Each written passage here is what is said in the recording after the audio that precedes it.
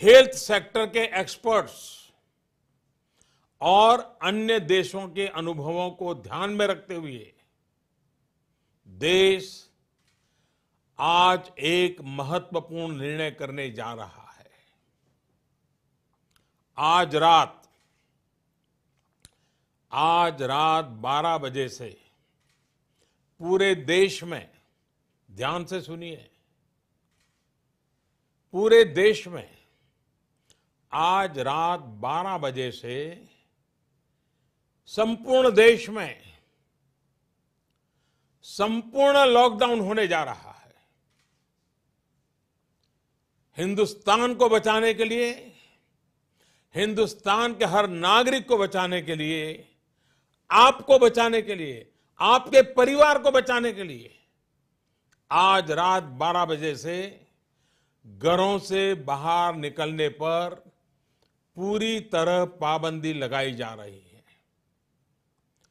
देश के हर राज्य को, हर केंद्र शासित प्रदेश को, हर ज़िले, हर गाँव, हर कस्बे, हर गली मोहल्ले को अब लॉकडाउन किया जा रहा है।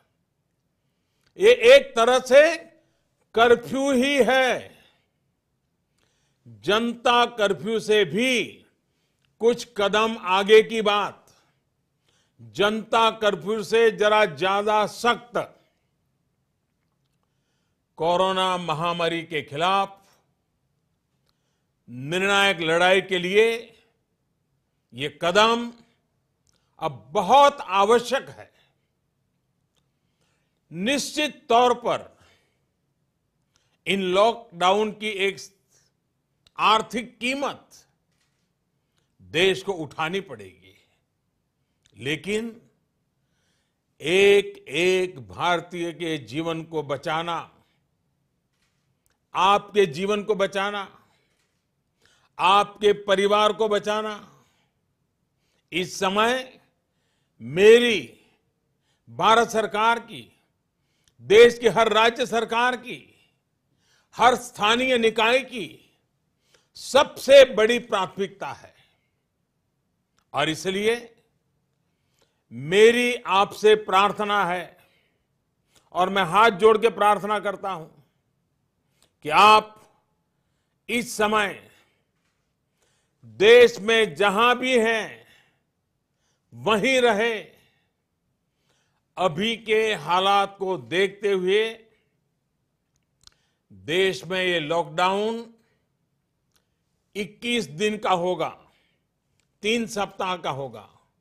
और जब मैंने पिछली बार आपसे बात की थी, तब मैंने आपसे कहा था कि मैं आपसे कुछ सप्ताह मांगने के लिए आया हूँ।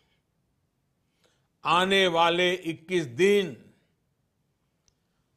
हर नागरिक के लिए, हर परिवार के लिए बहुत ही महत्वपूर्ण है।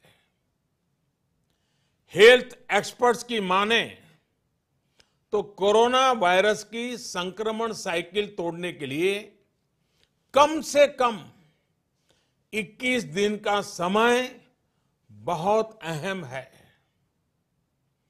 अगर ये 21 दिन नहीं संभले तो देश और आपका परिवार 21 साल पीछे चला जाएगा। अगर ये 21 दिन नहीं संभले तो कई परिवार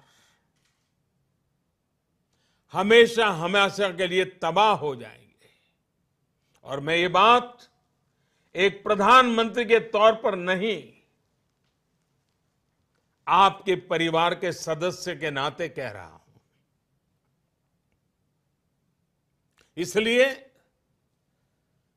बाहर निकलना क्या होता है? ये इन 21 दिनों के लिए भूल जाइए। घर में रहे, घर में रहे और एक ही काम करे कि अपने घर में ही रहे। साथियों, आज के फैसले ने देशव्यापी लॉकडाउन ने आपके घर के दरवाजे पर एक लक्ष्मण रेखा खींच दी है।